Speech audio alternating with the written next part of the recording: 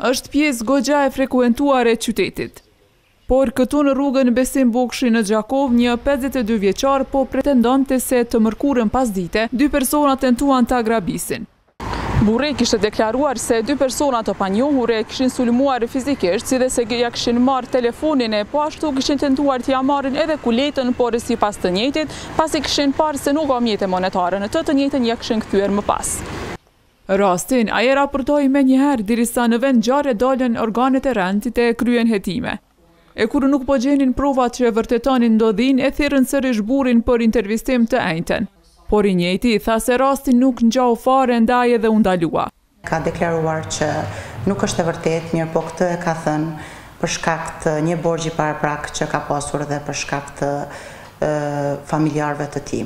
Prandaj prokurori i rastit ka lëshuar urdhër për ndalim për dyzet e tetë orë. Sipas Shehut, ndalimi u bë nën dyshimin e bazuar se ka kryer veprën penale kallëzim i rremë.